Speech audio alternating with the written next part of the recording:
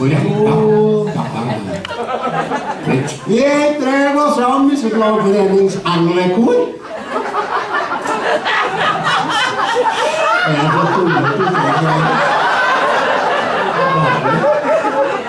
Vi har vært på Nav. Ja, vi har vært på Nav og fått sånn omskjæring. Nei, omskolering. Ja, omskolering. Så nå går vi på sånn englestøv og engleår. Herlig. Nei, vi, vi har gått på engleskolen til Martha. Ja. Ja. Vi har laget en engel hvert. Klumplink. Det er derfor vi snakker engelsk. Det er så tullete.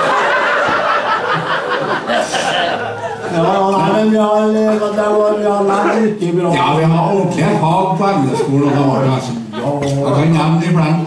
Ja. Vi har matematikk. Vi har arimetikk. Vi har sånn historie. Og vi har geografi og flyging. ja. Og sløyd. Sløyd? Ja. Vi lærte oss mye vakkert. Ja, så tullete. Han misforsto det først mekka på engleskolen. Han, han trodde han skulle på hønskole. selvfølgelig. Han prøvde til og med å legge egg. Jeg skal fortelle dere det var litt av en opplevelse. Jeg måtte stå englevakt.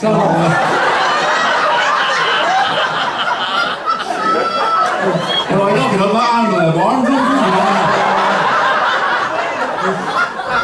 Nei, det. Ja. Nei, men best faget syns jeg var flyging. Ja, men du rota deg opp i en sånn modellflystevne Århalla. Jeg trodde jeg så noe mye småengler. Men det, la nå det være sagt, da. Ja, etter vi begynte å lære oss å fly, så har vi hatt drag på hunnkjønnet, altså. Jeg vet ikke sist gikk fløy så mye fly etter oss.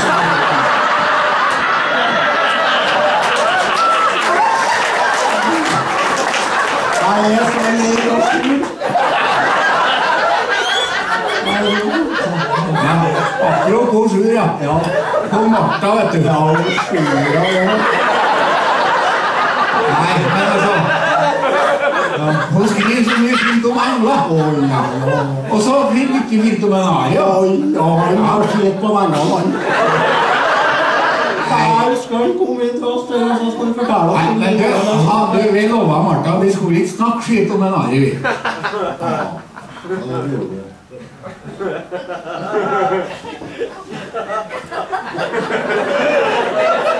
Men da ble det kanskje ikke så mye å snakke om heller, da.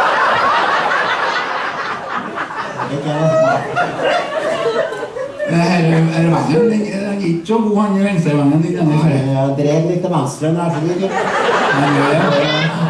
Ja, du blir nå generelt som en kråk likevel, men altså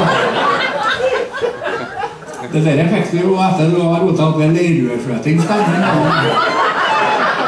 Jeg er mer som vingeskutt. Det er helsikes hund som ville ha meg inn hele tida. Jeg har vært fuglejakta, det er Nei, litt ja. nei, nei. Det eneste som er dra draget på deg, er den ugla du bor i. Det er som en burugge. Ikke. Har jeg vært i bur, så har jeg sett et da. Vi skal, egentlig så skulle vi ha sunget en sang her nå. Ja. Det- Men da kanskje vi skal ha det Ja, da må vi ha instrumentet. Ja.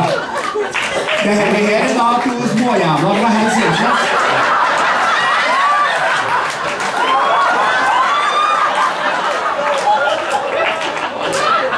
Jeg hører en let nå. Ja. Ja. Det var dårlige greier. Bra litt. her, du, da. Jeg har du hørt, ja.